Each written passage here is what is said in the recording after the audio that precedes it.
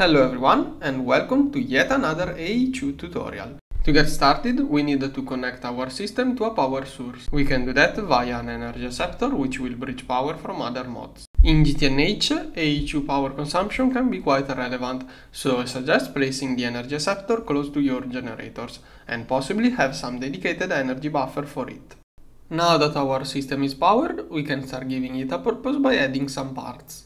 We start with a drive which will host up to 10 storage cells so to have some inventory capacity. To access this inventory, we can expand our system with a terminal. But that's not the only way of interacting with this inventory. To passively move around items, we have import and export buses, but better yet, we have interfaces which will keep set amounts of items in place. We also have storage buses, which will allow to directly interact with external storages, but we will see those better later on. The next thing we have to talk about is cables and channels. Without a controller we can only attach up to 8 parts to our system. Adding one extra will cause it to collapse. To avoid this limitation we need to sort out the communication between those parts with the help of a controller. Every part we add to our network will require to be connected to our central controller, but cables can only carry a limited amount of connections. More precisely, 32 for dense cables and 8 for normal cables. Glass cable is the cheapest one, but it can't be painted, which could be a problem since cable loops can cause unpredictable behaviors. Finally, we have smart cables. Those are more expensive but will allow you to see the amount of used channels without using any tool. To connect all of your base, you will probably have to reach far places, but long cables could become expensive. To cheap out, we can use point-to-point -point connections. Those things will bridge a cable across two points, while using only one channel, meaning they can shrink channel usage by a factor of 32. To set up the P2P bridge, we have to use a memory card to link the input side to the output side. P2Ps will, however, require a channel to work, so we set up a second network just for those. To power that extra network, we can draw some energy from our main network using a piece of quartz fiber. Next, we can see how to make our system craft complex items on its own. To do that, we start with a pattern terminal, where we can teach the system how to do each crafting step. For example, we can say that one iron dust can be turned into one iron ingot. We encode that recipe into a pattern which we then move to an interface. That way, when the system will need an iron ingot, it will move an iron dust to an inventory near that interface and accept an iron ingot back.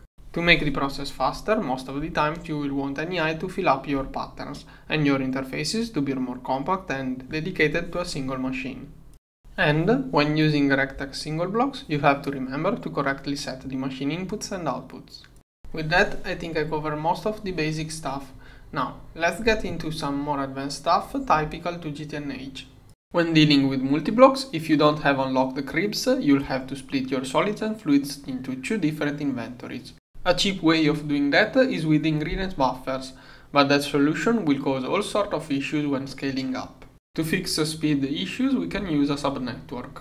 Our interface will drop ingredients into the subnetwork interface, which can only store those inside the storage buses that are attached to the multi-block. If you are working with a more expensive machine and want it to work with different circuits, you can use Paint to make sure that ingredients won't react with each other. If instead the issue is that the machine is too slow, you can use P2P interfaces to split the load. To do that, we simply upgrade the interface on our first machine, then, like a P2P, we link it to a P2P interface on a second machine. That way, we can split craftings across all of the machines we could want. To split the load even better and avoid the recipe conflicts, we can add an advanced blocking card to the receiving interface and turn on blocking mode on the main network one. That will ensure that no items will build up in the input bus, but it will also prevent parallel crafting. We can avoid this side effect by multiplying patterns or allowing same recipe insertion. And now we can jump to some more complex stuff, assembly lines. As you know, the main issue here is splitting all of the ingredients across all of the inputs. To do that, you simply use ULV input buses which can only hold one item stack, and then have decreasing priority on the crafting subnetwork buses. And nowadays, this can be easily achieved with the new priority card. In this setup, enabling blocking mode with blocking cards is mandatory to avoid cloggings. The only weak point of this setup is a recipe that need the same item in different spots.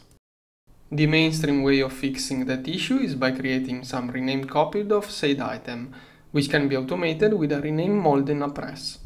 And now we can move on to more interesting stuff, such as the general purpose advanced assembly line. To break it down, let's start by saying that those are 10 identical setups fed by point-to-point -point interfaces, so we should focus on just one of those lines. If we check one of those setups, we can see that each row is just an assembly line where each slice is fed whatever item is present in a dedicated subnetwork for this slice. I wanted to highlight that this is just a modular assembly line, where each slice is taking items from an external inventory, shared between all of the assembly lines in the same group. With that, you should get that the only challenge is getting each item in a different subnetwork. To do that, we create a set of subnetworks that can only contain one item type, which can be easily achieved with digital singularity cells. Then we place those networks in a way that resembles an assembly line, and feed the data setup the way we will feed an assembly line. To get a better view, here we have our main network interface, dropping into a distribution network interface, which will split ingredients into storage buses according to priority. Also, every interface must have blocking cards inside and blocking mode enabled. The next thing we should see is how to build a controller with a lot of usable channels. Before we get started, I would like to tell you that this is not required. I have used about 100 controller faces to complete the Stargate, and that, and that can be easily achieved by basic layouts.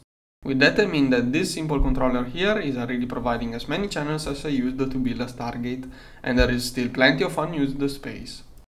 Anyways, the way I built my controller is more or less like this.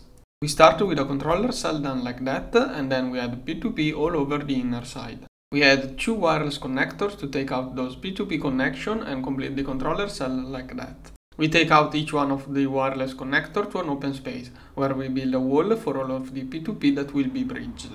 Connect all of the P2Ps of the controller with the P2Ps on the wall. Finally, we add the easily accessible wireless connector that we will be using for our base. I didn't go much into the details because I think I should first figure out a proper way of editing videos, and I think there are already plenty of good tutorials on YouTube on how to do those things. So I just try to showcase the most useful or interesting stuff. Before I do anything else, I first want to know if I should go back to the text-to-speech or keep using my voice. But ideally, to ease editing and be closer to my preferred style, I would like to not have to type a script and just improvise. But most importantly, I think that you should just test out whatever you want instead of blindly following a tutorial. And for that reason, I will often reply why questions with why not or go and try yourself to find out. I don't want to be mean, I just want to say that the best way of learning is by trial and error. For the next video, I will probably try to show answer to whatever questions I get in the comments. See you next time, bye bye.